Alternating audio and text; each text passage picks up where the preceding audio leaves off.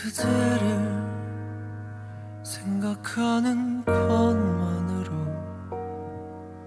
그대를 바라볼 수 있는 것만으로 그대의 음성을 듣는 것만으로도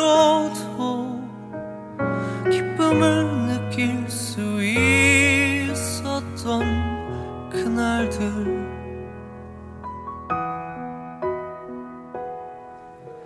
그대는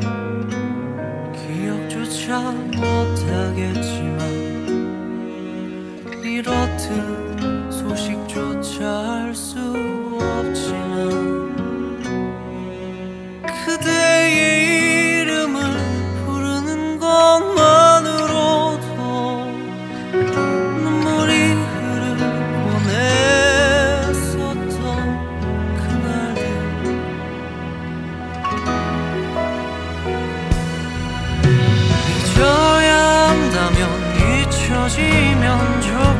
있어